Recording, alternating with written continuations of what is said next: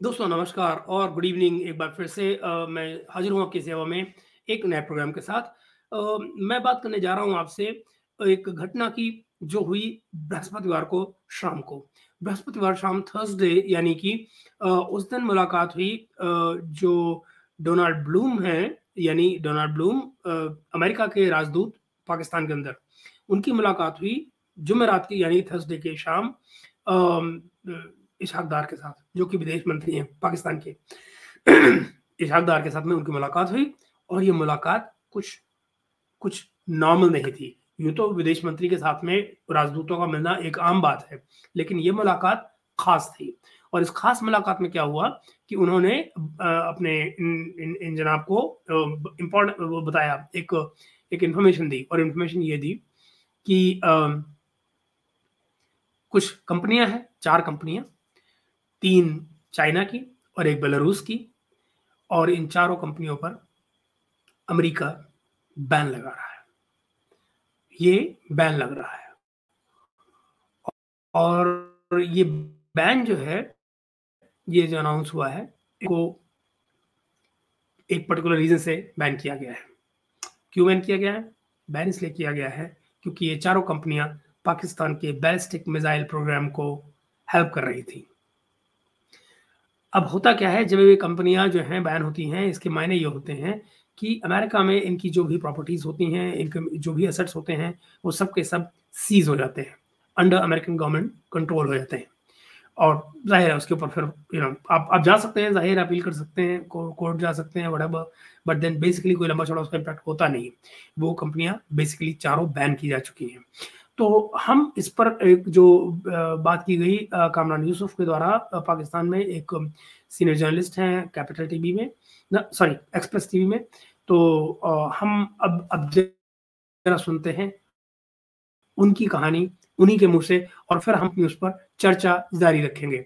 एक बार फिर से मैं आपको बता दूँ कि ये मामला है उन चार कंपनियों का, तीन चाइना की और एक बेलारूस की, जिस पर अमेरिका ने बैन लगा दिया है। मिसाइल टेक्नोलॉजी पाकिस्तान को बेचने या उनकी सपोर्ट करने के लिहाज़ से। तो हम चलते हैं कामरान यूसुफ की तरह तरफ़ और देखते हैं कि उनका क्या कहना है इस बारे में। अमेरिका का जो एक फैसला था, उससे पाकिस्तान को आगाह करना था, जिसका बराह रास्त पाकिस्तान की सिक्योरिटी और सलामती पर असर पड़ना था। लेकिन दिलचस्प बात यह है कि जो प्रेस रिलीज़ जारी हुई अमेरिकन एम्बेसी की तरफ़ से उस मुलाकात के बाद, उसमें जो ज़िक्र किया गया, एक तो जनरल जो स्टेटमेंट है, ख़याल किया एंड इम्पोर्टेंटली एक अहम जो स्टेटमेंट एट्रिब्यूट की गई अमरीकी से, वो ये थी कि अमरीका पाकिस्तान की सिक्योरिटी और सलामती को टॉप प्रायोरिटी समझता है।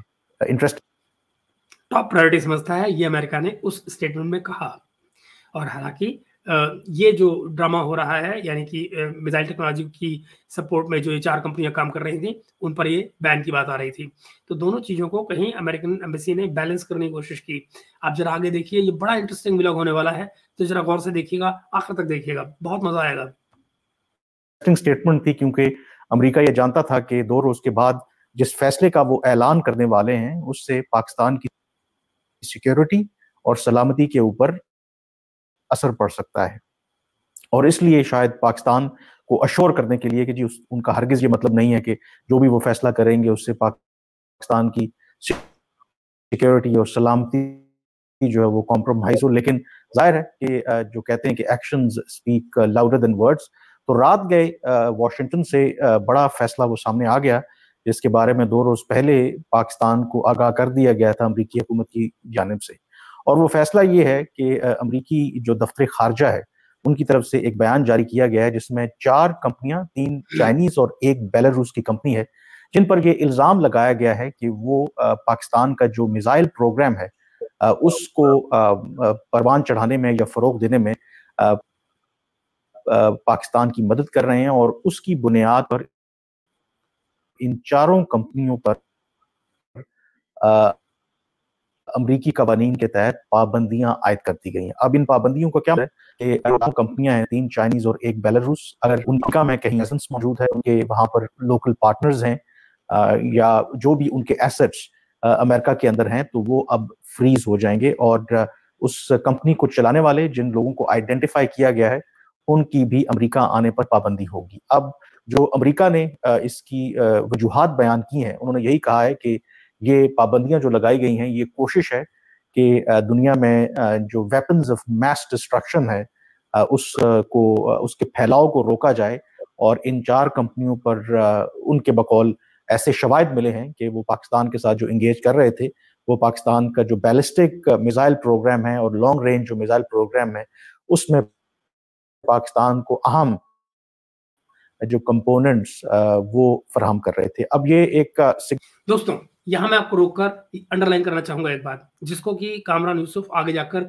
अमेरिका की दो, दोगली पॉलिसी या कंट्रोडक्टरी पॉलिसी बताने की कोशिश करेंगे। सच क्या है?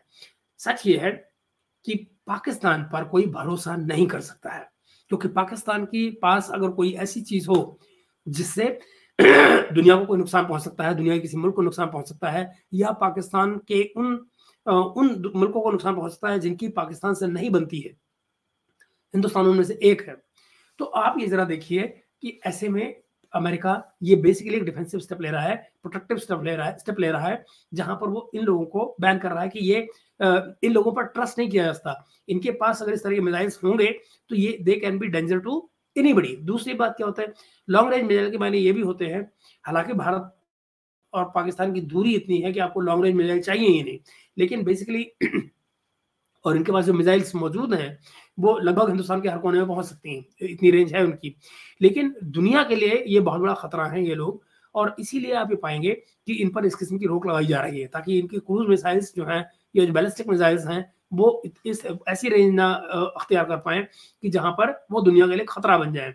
अब आप जरा सोचिए, आज की तारीख में ये कौन जानता है कि जो इनका करंट प्रोग्राम है, वो कहाँ तक पहुँचा हुआ है? तो let us see where we are reaching with this but आगे आपकी इस इस व्लॉग में जो कमेंट्री आएगी, जो कामरान यूसुफ कमेंट्री करना है, बात दरअसल उस पर होनी है। आप देखिएगा। सिग्निफिकेंट आई थिंक डिसीज़न है पाकिस्तान का रद्द अमल क्या होगा, ये भी मैं आपको बताऊँगा। लेकिन सबसे पहले मैं इसकी जो तफसीलात हैं, वो आपके साथ शेयर करना चाहूँगा कि जो एक चार्ज शीट भी उन्होंने, या फैक्ट शीट आप कह लें, के साथ जारी की है इन चारों कंपनियों के हवाले से कि इन पर बुनियादी तौर पर क्या इल्ज़ाम है और क्यों इन पर पाबंदी आयद की गई? जो बेलारूस बेस्ड कंपनी है, उसका नाम है मिन्स्क व्हील ट्रैक्टर प्लांट और इस पर उन्होंने ये इल्ज़ाम लगाया कि उन्होंने जो स्पेशल व्हीकल चेसीज होती हैं जो long range ballistic missile program में इस्तेमाल होती है पाकिस्तान के इस कंपनी पर यह इल्ज़ाम है कि उन्होंने ये पाकिस्तान को फराहम किया है, जिससे ऑब्वियसली पाकिस्तान का जो बैलिस्टिक मिसाइल प्रोग्राम है उसको आगे बढ़ाने में मदद मिलती है। और इसके साथ फिर जो उन्होंने फिर तीन चाइनीज़ की कंपनीज़ हैं उसमें उन्होंने ज़िक्र किया है और जो चाइनीज़ की जो तीन कंपनीज़ हैं, उन पर भी ये इल्ज़ाम है कि उन्होंने डिफरेंट जो कंपोनेंट्स हैं मिसाइल बनाने के हवाले से वो पाकिस्तान को फराम किए हैं। और बाहिर जो वो कंपनियाँ जो इस फैक्ट शीट से ज़ाहिर हो रहा है कि एक अंडर कवर कंपनियाँ होती हैं और जो मुख्तलिफ़ इक्विपमेंट प्रोवाइड करती हैं, जो मल्टीपर्पज होता है किसी भी और इंडस्ट्री में इस्तेमाल हो सकता है। लेकिन बकौल अमेरिका के स्टेट डिपार्टमेंट की तरफ़ से जो बयान जारी हुआ है, वो बुनियादी तौर पर पाकिस्तान का जो बैलिस्टिक मिसाइल प्रोग्राम है, उसके लिए ये इस्तेमाल हो रहे थे। अब इन पाबंदियों के बाद ऑब्वियसली जैसे मैंने कहा कि ये जो कंपनीज़ हैं अमेरिका में अगर उनकी प्रेजेंस है, वहाँ पे ये ऑपरेट नहीं कर सकती।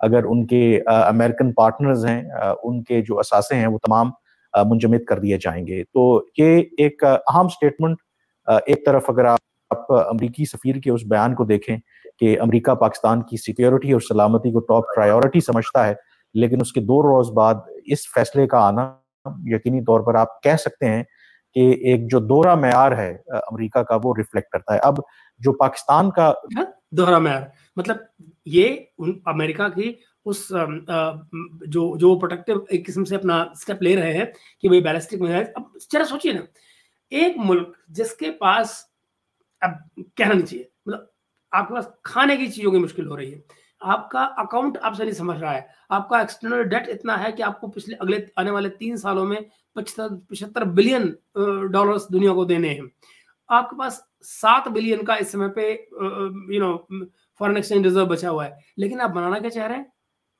बैलिस्टिक मिसाइल्स अब जरा कल्पना कीजिए कि ये कैसा माइंडसेट है। और पाकिस्तान जब से बना है, पहले दिन से लेकर आज तक, किसी भी तरफ़ से, किसी भी पड़ोसी से, एक दिन के लिए भी पाकिस्तान को खतरा नहीं हुआ है। अपने आप को खुद उन्होंने एक सिक्योरिटी स्टेट बना रखा है। अपनी इनसिक्योरिटीज जहाँ नहीं होती हैं, उनको पाल रखा है। और फिर उन इनसिक्योरिटीज को दूर करने के लिए मिलिट्री हार्डवेयर ढूंढ रहे होते हैं।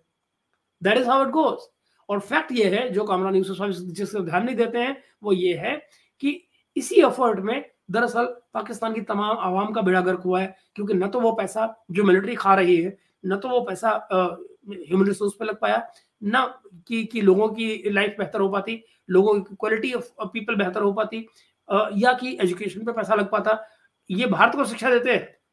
ये भारत को एजुकेट करने की कोशिश करते हैं, ये भारत पर कमेंट करते हैं कि जो बेकार में चंद्रयान बना दिया उसकी क्या ज़रूरत थी। मैंने आपको दिखाया ना, वो साजिद तरार क्या बोलता रहा है। तो वो चंद्रयान को लेकर परेशान था कि चंद्रयान की ज़रूरत है चौंक पे भेज के क्या मिल जाएगा? यू नो तो इस तरह की बातें, ये सारे पाकिस्तानी बोलते रहे। लेकिन अपना घर नहीं देख रहे कि जहाँ पर सब कुछ मिलिट्री खा रही है, ये नहीं है कि उससे बचकर अपनी पब्लिक पर कुछ लगाएँ। मेरा कंसर्न नहीं है, मेरी भला से आप लगाए, ना लगाएँ। लेकिन फिर रोइए मत अगर और लोग आप पे किसी किस्म की रोक लगाते हैं। तो दोहरा मैार उनका नहीं है, दोगला मैार आपका है। आगे देखें। मिसाइल प्रोग्राम है क्योंकि इट इज़ पार्ट ऑफ़ जो हमारा एक डिटेरेंस है। आपको पता है कि एक हिस्टोरिक जो हॉस्टिलिटी है हमारी भारत के साथ, और भारत की ही वजह से वो पाकिस्तान का न्यूक्लियर प्रोग्राम हो, पाकिस्तान की जो कन्वेंशनल जो पावर हो मिलिट्री पावर वो उसी के साथ ऑब्वियसली जुड़ी हुई है और इसी वजह से और आजकल के अच्छा हॉस्टिलिटी हमारी क्या रही? क्या भारत ने कभी पाकिस्तान पर अटैक किया? कभी भारत ने एक आदमी भेजा उनकी तरफ़ को? यू नो आप जरा सोचे कि ये क्या बातें कर रहे हैं कि भारत से कन्वेंशनल हॉस्टिलिटी हमारी हॉस्टिलिटी क्या रही है? भाई फोर्टी में हमारी तरफ़ को कौन घुस कर आया था? आ, आप मतलब वहाँ से लेकर सिक्सटी फाइव लीजिए सेवेंटी वन लीजिए नाइनटी नाइन लीजिए कब है आप नहीं आए? हमेशा हमले की शुरुआत आप कर रहे होते हैं। फजूल में कर रहे होते हैं और फिर पिटते हैं। और आपको फिर लगता है कि, ओहो, हम कन्वेंशनल वॉर में पिट गए, अब न्यूक्लियर हम हो जाएँगे। न्यूक्लियर होने के बाद भी तो पिटे कारगिल में। न्यूक्लियर होने से क्या फ़ायदा हुआ? कुछ भी तो नहीं। तो जरा ये जो जो कन्वें जो हॉस्टिलिटी है ट्रेडिशनल हॉस्टिलिटी इंडिया के साथ में, उस हॉस्टिलिटी को आपने खुद कल्टीवेट किया है, बनाया है। आपकी फौज ने उस उस पिक्चर को इनेमी पिक्चर को बना के भारत की बेचा है। उसके बल पर खाया है उन्होंने।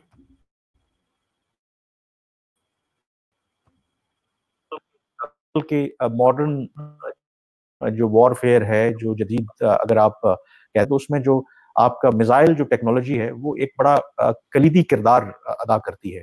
और पाकिस्तान के लिए इसलिए ये एक अच्छी खबर नहीं है और शो करता है कि अमेरिका का एक दौरा में आ रहा है कि पाकिस्तान के एक तरफ़ वो कहते हैं कि सिक्योरिटी और सलामती का उनको एहसास है but at the same time वो पाकिस्तान का जो मिसाइल प्रोग्राम है उस पर इस तरह की पाबंदियाँ आयद कर रहे हैं। और दूसरी तरफ़ अगर आप देखें भारत उनके साथ अब उनके एक स्ट्रेटेजिक ताल्लुकात हैं, क्योंकि उनका जो लार्जर ऑब्जेक्टिव है। जरा सोचिए, ये जो कह रहे हैं कि अब वो पाकिस्तान की सिक्योरिटी की बात करते हैं और फिर हमारा मिसाइल प्रोग्राम बंद करते हैं। जरा सोचिए, आपकी सिक्योरिटी से आपके मिसाइल प्रोग्राम का क्या ताल्लुक? क्योंकि आपके पड़ोसी के पास उससे बड़ा मिसाइल हो सकता है। तो अगर आपका पड़ोसी दरअसल लड़ाई करता ही नहीं किसी से, और आज से नहीं, पाँच पाँच हज़ार साल से नहीं लड़ाई कर रहा किसी से तो फिर आपकी परेशानी क्या है मतलब फजूल का ड्रामा, फजूल का नाटक, फजूल का narrative and this is what they do जो तमाम टीवी चैनल्स पे जो आईएसपीआर के गुर्गे जो बैठे हुए हैं इज़ वन ऑफ़ देम तो ये ये ये बेसिकली है क्या? हमेशा मिलिट्री पॉइंट ऑफ़ व्यू लेकर चलेंगे। उनका दौरा में आ रहा है, हमारी ट्रेडिशनल सिक्योरिटी है। आई मीन इन, तुम्हारी इनसिक्योरिटी को तुमने कल्टीवेट किया भाई नोइंगली कल्टीवेट किया है so that you can go on that track जिसमें जो जो आर्मी चाहती है। दैट इज़ इट और सारी मुसीबतों की जड़ वही छिपी हुई है। आप कभी भी देखिए इस चीज़ को। आगे देखिए क्या कह रहे हैं साहब। ऑफ़ कोर्स चाइना को काउंटर करना।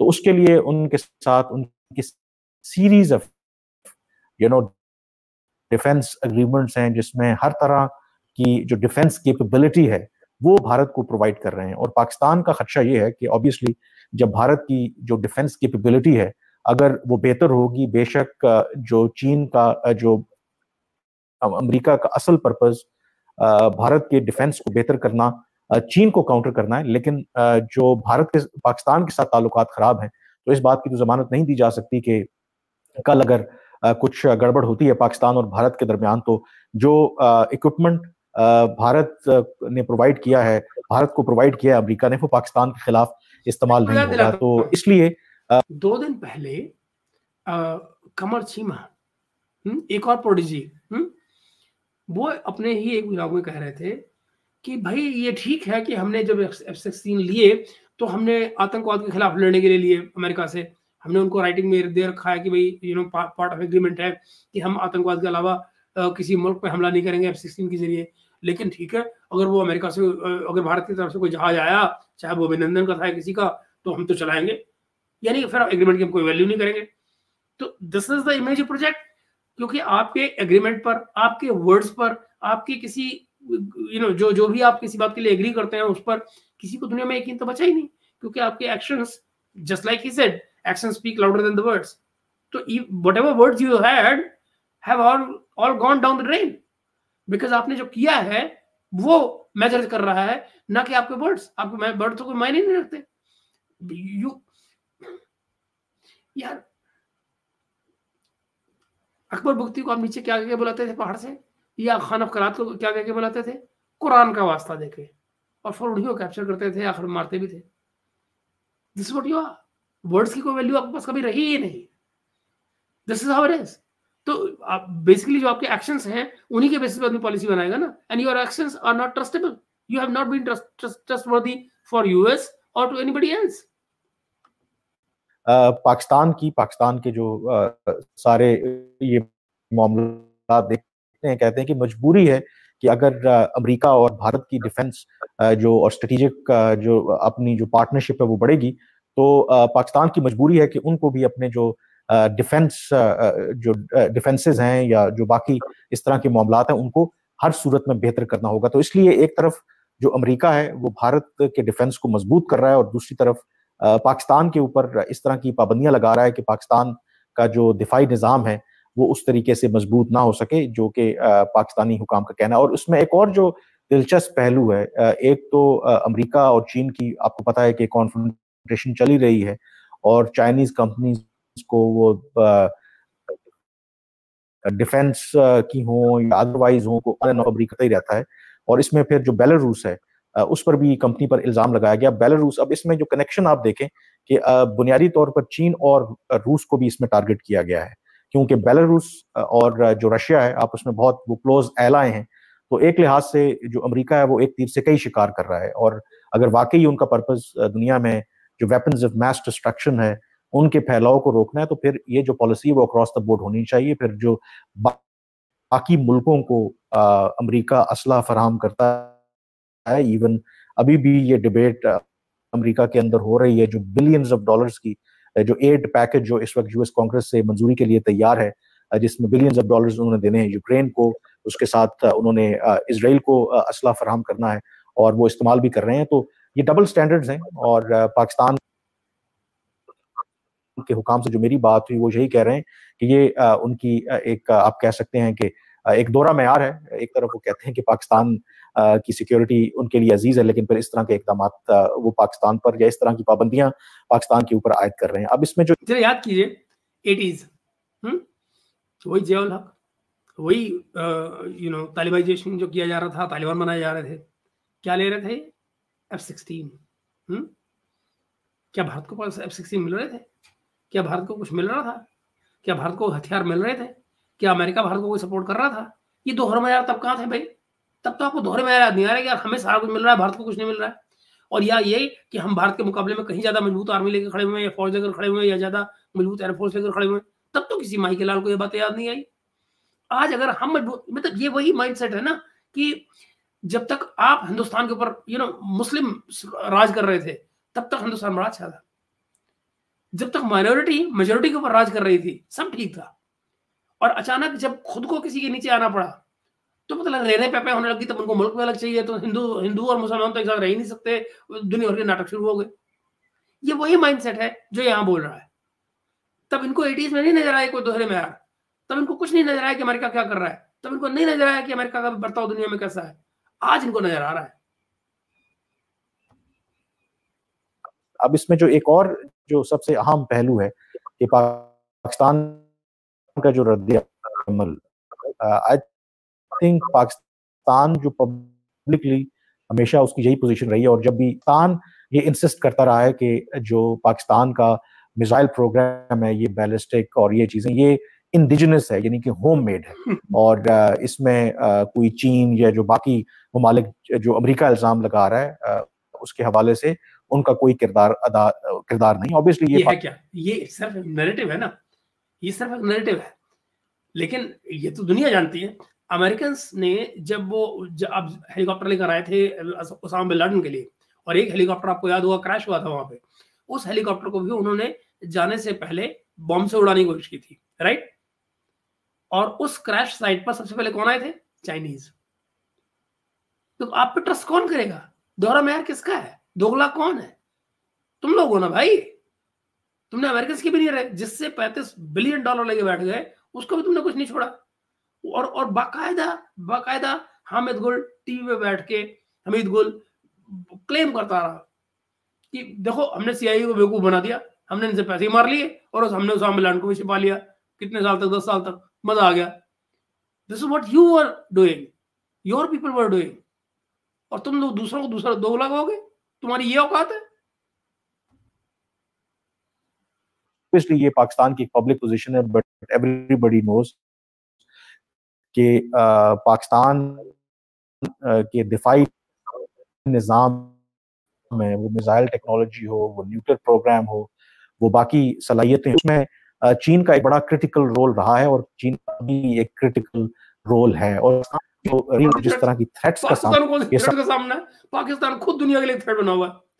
Pakistan itself is a threat for the world security and regional security लड़ाइयाँ तुम शुरू करते हो, आतंकवादी तुम बनाते हो टेररिस्ट तुम भेजते हो, और और खतरा इनके लिए हो रहा है इनसिक्योरिटी इनको हो रही बताओ।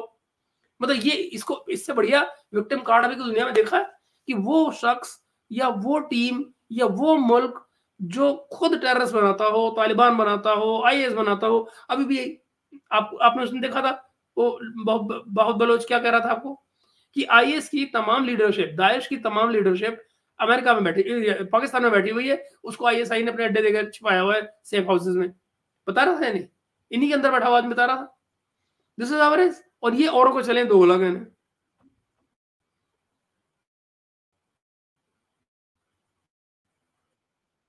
ये समझता है कि पाकिस्तान का जो मिसाइल प्रोग्राम है, ये जो न्यूक्लियर प्रोग्राम है, जो पाकिस्तान परसू कर रहा है, ये एक उसका लेजिटिमेट राइट है, क्योंकि अगर तो रीजन के अंदर ये थ्रेट खत्म हो जाए तो फिर पाकिस्तान क्यों इस तरह, का जो जो असला है या इस तरह की जो दिफाई सलाहियतें हैं उसके ऊपर इतना पैसा खर्च करेगा तो इसलिए ये एक I think important development region में थ्रेट खत्म हो जाए रीजन में थ्रेट कौन है? रीजन में थ्रेट तो तुम ही लोग हो भाई। रीजन में कौन थ्रेट है, बताओ। चाइना नई बन के थ्रेट उभर रहा है। अब वो अपने आसपास के तमाम मुल्कों को धमकाने पर लगा हुआ है। लोगों की जमीनें छीनने की कोशिशें कर रहा है। और आप पहले से थ्रेट बने बैठे और जो थ्रेट है, वो कह रहे हो मेरे ऊपर थ्रेट है, मेरे ऊपर थ्रेट है। कहे की थ्रेट है भाई तुम्हारे ऊपर? किससे थ्रेट है तुमको? कौन तुम्हारे अंदर घुसा जा रहा है?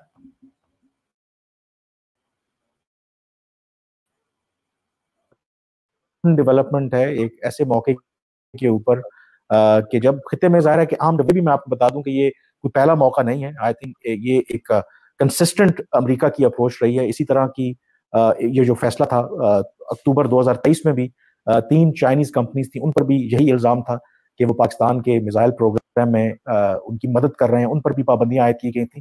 फिर इसी तरह का एक फैसला दिसंबर 2021 में भी किया गया था। अगेन उसमें एक चाइनीज़ कंपनी को उन्होंने बैन किया था। उस पर पाबंदी आयद की थी अमरीका ने। और सिमिलर इल्ज़ाम था कि पाकिस्तान के ये जो मिसाइल प्रोग्राम है उसमें उनकी मदद कर रहे हैं। और पीरियड अमेरिका के वो वर्ल्ड वॉर हम अमेरिका का हम लाद दिया इतिहादी रहे और अभी भी एक नॉन नेटो एलाय है। इनसे जरा पूछो बेटा सीटो सेंटर में तुम्हारा रोल ही क्या था?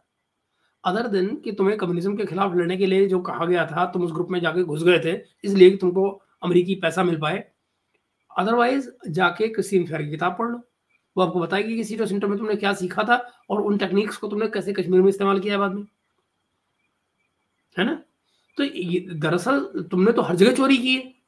हर जगह तुमने ऐसी मुखबरी की है कि कैसे जाकर हम यहाँ से कुछ सीख ले और जाकर उसको हिंदुस्तान के ऊपर हमला कर दें उस, उसको लेकर। ये तुम्हारा पूरा का पूरा इतिहास है पूरी हिस्ट्री है तुम्हारा माजी है। तो ये ये ये चले हैं दुनिया को सिखाने चवन निछाप है नहीं? और, मतलब आप जरा देखिए सिक्योरिटी का गाना गा भी कौन रहा है? वो जो दुनिया में किसी भी मुल्क को इनसिक्योर बनाता है। मुंबई किसने कराया था भाई? हाफिज सईद किसकी पैदाइश है? हम्म? मसूद अजहर किसके यहाँ घूम रहा है? ये जिस बीस बाईस को रो रहे हैं कि अननोन गनमैन ने मार दिए वो किसके मुल्क में तुम्हारे मुल्क में घूम रहे थे ना? और तुम खुद को क्या, क्या कहते हो कौन थे करो? वो जिहाद कर रहे थे। तो मतलब फिर इनसिक्योरिटी कहाँ घूम रही है? तुम्हारे मुल्क के अंदर? लेकिन आ, ये बात अक्सर देखने में आई कि बावजूद इसके कि दोनों एक दूसरे के इतिहादी भी रहे लेकिन जो ट्रस्ट डेफिसिट रहा हुआ और पाकिस्तान हुआ। वो ट्रस्ट डेफिसिट इसलिए नहीं खत्म हुआ क्योंकि वो लोग जो तुमको पैसे देकर तुमसे काम करवा रहे थे वो हमेशा जानते हैं कि तुम दोगलापन कर रहे हो।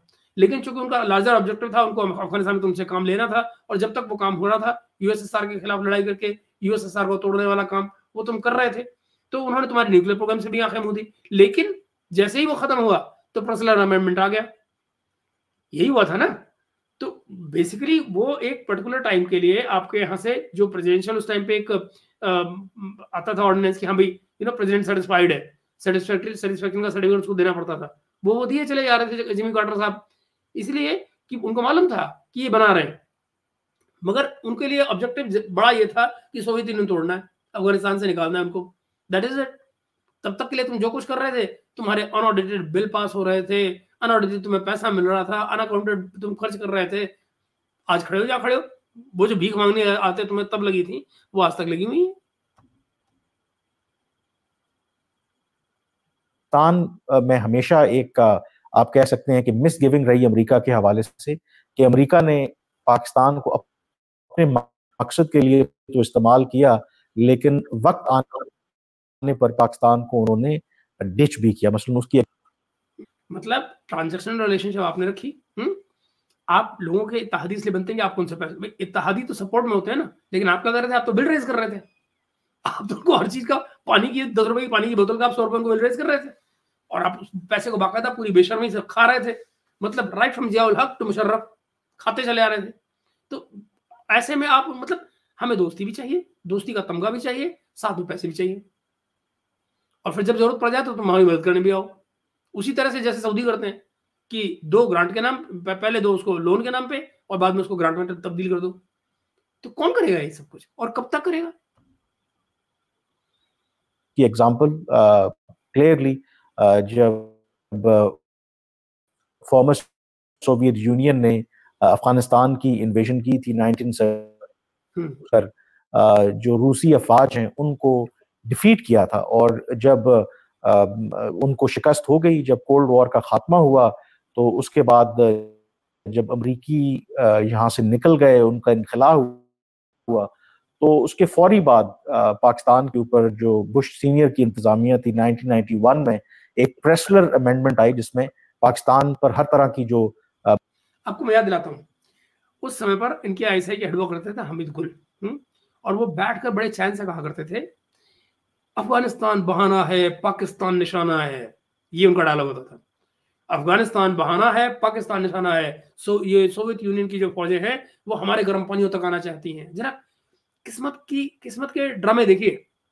आज वही सोवियत यूनियन रशिया हो गया टूटा कोई दिक्कत नहीं।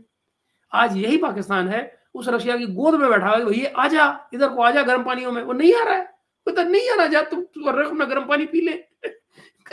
वो तुम्हारे गर्म पानी में नहीं आ रहा है हाथ तक पलट के।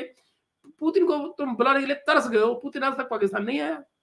तो आप जरा देखिए ना कि ये ये चर्चा कहाँ चल रही है। और ये चले हैं दुनिया को दोगला बताने। ना क्या बात है। मिलिट्री असिस्टेंस है। पाबंदी आयद कर दी गई और उसकी वजह यही बताएगी कि पाकिस्तान सीक्रेटली जो न्यूक्लियर वेपन्स प्रोग्राम है वो परसू कर रहा है। हालाँकि इंटरेस्टिंगली ये इस चीज़ें अब रिकॉर्ड पे मौजूद है कि जब अमेरिका को पाकिस्तान की ज़रूरत थी दौर में भी जारी रहा और अमेरिका को ये चीज़ें पता थी लेकिन अमेरिका को क्योंकि पाकिस्तान की ज़रूरत थी रखी और पाकिस्तान को न्यूक्लियर प्रोग्राम परसू करने दिया सी, मान रहे ना? खुद मान रहे हैं। अब जरा सोचिए, एक मुल्क जो चोरी से न्यूक्लियर प्रोग्राम डेवलप कर रहा हो, उस पार्टनर को धोखा देते हुए जिससे पैसे ले रहा है, और फिर आज वो जब जिस बात को कर रहे हैं तो जरा सोचिए, दोगलापन कौन कर रहा था? तुम। खुद अपने मुँह से मान रहे हैं कि दोगलापन कर रहे थे? और गाली किसको दे रहे दूसरे को, कि वो दोगलापन कर रहे हैं। उन्होंने अपनी अपॉर्चुनिटी देखी कि तुमको हमने जिस काम के लिए रखा है, तुम वो काम कर रहे हो। तुम साथ में क्या कर रहे हो? हम देख रहे हैं। जब उसका मौका आया तो उन्होंने उस पर बैन लगा दिया आपको लेकर। वो अलग बात है कि आपने उसका फ़ायदा भी उठाया।